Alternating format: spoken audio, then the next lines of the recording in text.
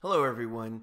So you pull up to your house at the appointment time, and of course, your home is on the wrong side of the road that you're shooting. The sun is behind the home, so it is backlit. Therefore, the front of the home is a complete shadow, and the house is casting a shadow into the yard. A wonderful scenario. This actually happens a lot, especially on cloudless days. All right, so how do we tackle this? The first thing that I do is I do bracketing photos the way I've shown you before on my other external uh, shots of a house video. I'm going to use bracketing to take my photos. But I'm also going to go back and go into single shot mode and use my flash and walk up and down the house using my remote trigger so I can trigger the uh, the camera to, to go off, which also makes the flash go off. And I'm going to light from one end of the house to the other. And when I get back to Photoshop, I'm going to blend those in. Now, when I'm using my flash on the outside of a home, my settings are usually ISO 100 and the shutter speed, I'm going to have it at about 160th of a second because of sync speed with the flash and my f-stop is 7.1. So now that I've taken the photos, let's go into Adobe RAW and Photoshop and work on the photos.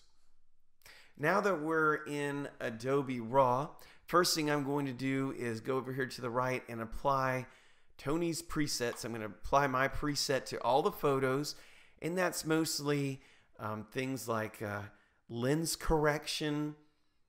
It's uh, dis- um, for the distortion. It's also going to handle noise, things like that. I go over all my settings on my presets on my videos on YouTube. I think it's either video one or two, episode one or two. So now that I've got those presets applied to all these photos, I'm going to come down here to the right and open all the images in Photoshop so I can blend those together. Okay, now that we're in Photoshop, the next thing I'm going to do is go over here to my actions. And I've shown you this before in either episode one or two, and that is where I sharpen all my photos. I'm going to hit sharp, file, automate, batch, make sure that the source is all the open files, okay, and that applies my sharpening to all the photos. Now, let's go to photo one. This is, I snagged two of the bracketed images. I snagged the one where the exposure is correct for the yard and the background and the trees, things like that. And then I also snagged one where the front of the home was lit somewhat, but notice we've lost a lot of detail in the background and the foreground. Now, here is a flashed shot, all right? In that, you can actually see my flash there to the right. I'm flashing the middle of the home. Look at the difference between the, the, the middle of the home on this shot and the one with ambient bracketed. So let me teeter between those. See where the one with the flash just makes the home pop. Then here is another flash shot where I'm getting the door area. The next one I'm getting the left side of the house, right? The next one I'm getting sort of to the other side of the house in this area over here. And last one is getting the top part of the home. What do we do next? Well, the first thing I'm going to do is I'm going to work with the flashed images. So I'm going to go ahead and command this. It's control on a PC, command on a Mac. Command A, Command C, which selects the whole image, copies it. Go to my next photo, Command V. So let me teeter between these two photos. So this one is getting the middle area. The next shot is getting over here a little bit to the left. So what I'm going to do is make a mask. It's a white mask. So I'm going to use a brush and brush in black to reveal underneath. Go to 100% opacity and brush in that next portion of the home that the flash was used on. Now I don't want to use it over here. I just want to bring in that picture underneath what I did point the flash at. Combine these two images, all right? Control, or excuse me, Command A, Command C, go to the next picture, Command V, all right? I also need to get rid of this flash. So go, let me go ahead and make another uh, mask. 100% going with black. I'm going to get rid of my flash there before I forget. All right, let's teeter back and forth. Okay, so this is the left-hand side of the house. All right, starting about right here. So let me brush that in. Get a little bit of the yard as well. All right, very good. Combine these two. Again, Command A, Command C, go to my next photo, which is that far side of the home. Let's teeter back and forth, see what part of it we want to get. All right, keep in mind this one thing I do see. Right here by this tree, look what happens.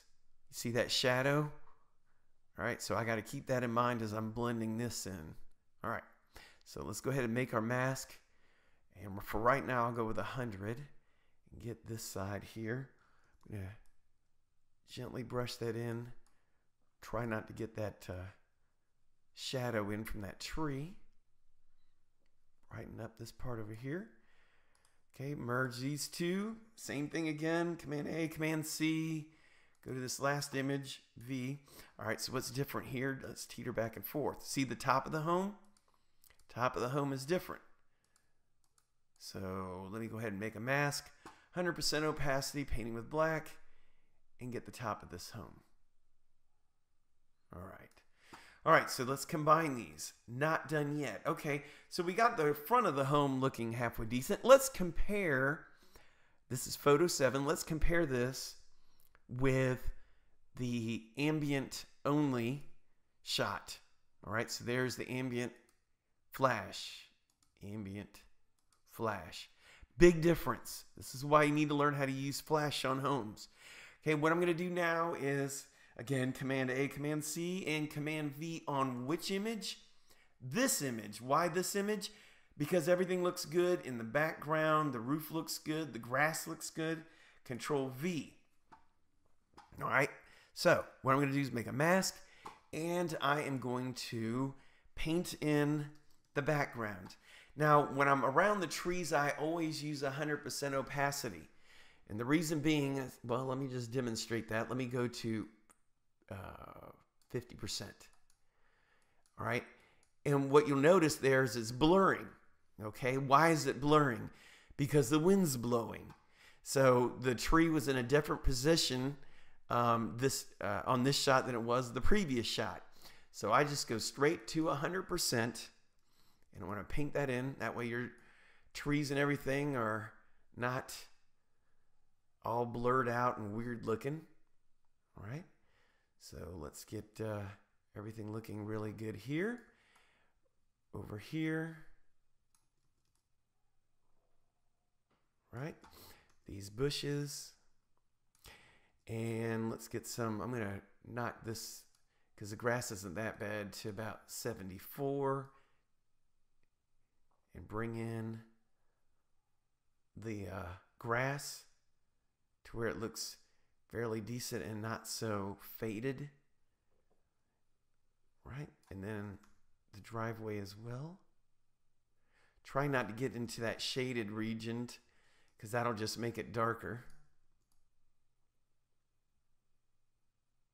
All right. All right, so now what? All right, that's looking pretty good. Now I'm going to combine those two images. And next thing I want to do is bring in a decent sky. So that's our next thing. Okay, now I have imported a drone shot that I did right around my house out in the country. And I am going to select this sky photo and bring it over here to our house. Control V. Control T or Command T.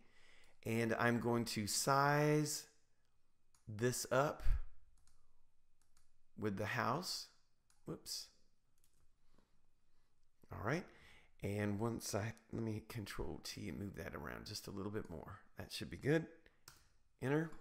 All right. So now I'm going to duplicate the background layer where I'm sandwiching the sky shot. All right. To make a mask.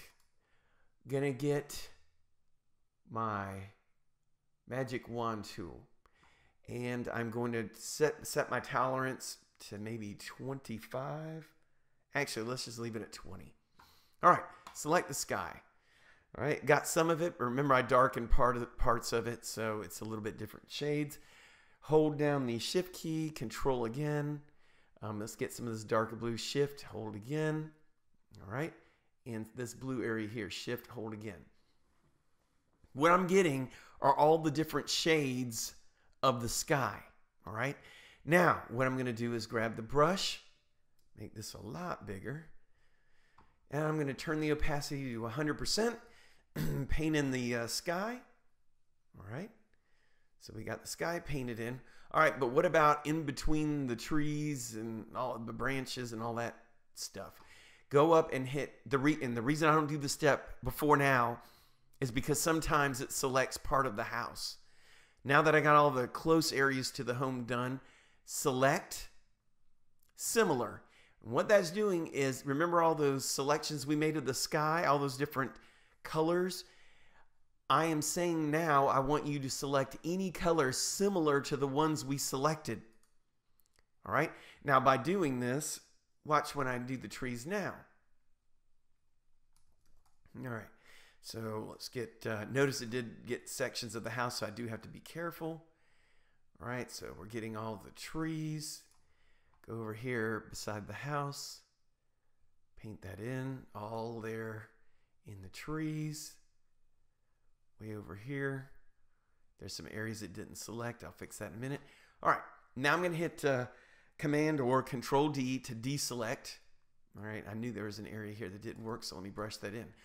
All right, and there's some areas up here that it didn't get very well. So I can either go back in and select it, and then hit Select Similar again and try again in that area, which seemed to work just fine. All right, Command D. All right, now what I want to do is select the sky layer, go to Adjustments, go to Brightness, and let's bring in that sky exactly the way we want it. Meaning this looks terrible, so let's brighten it up. That looks believable. Now I'm going to take the contrast slider and bring it to the left just because it brings back some of the, the contrast in the clouds, makes it look, again, more believable. Let's play with the brightness a little bit again. So somewhere like that. Now we got all these layers. Let's right click, flatten the image. Now, next thing I'm going to do, if anything, but I do want to do this because I can see it needs it, is I want to go back into Adobe Raw and I want to play with the colors a little bit, make some vibrancy and some other things pop on this photo. So we'll go into Adobe Raw next. Okay, back in Adobe Raw. First thing I'm going to do is take the vibrant slider and slide it up a little bit. that really did the sky too much. All right. Actually, I'm going to double click out of that. Grab my brush tool, turn up the saturation, and only paint it on maybe the grass to give it more pop. It looks a little lifeless because it's uh, November. Put it on some of the trees. Make them pop a little bit more. Yeah, I think that worked out. Actually, I'm going to do it in the shaded parts as well. Remember, we're painting right now with saturation. And let me, since we painted that, let me try changing the temperature. Here, just show you extremes. Let me play with the temperature just a little bit to give it a little bit more life. There we go. Notice what I'm doing, the reason I'm doing that separately instead of making it affect the whole photo is I don't want to mess up the sky. All right. So now I'm going to go to a new adjustment brush and I'm actually going to paint a little bit of yellow into the sky and a little bit of green because the sky has a little bit of a magenta tint tint and it's a little too blue for my liking. Again, skies are always different, but I like it like this. All right, and now for the home, I might grab another brush, paint with a little bit of yellow into the home just to make it look like it's in the sun just a tad. You probably won't even notice much of a difference, but there is. All right, now I'm at 124% zoomed in. Let me zoom that in at MLS size. All right, this is about the size that it'll be on MLS. And there you go, a perfectly presentable photo in some of the worst conditions. Thank you.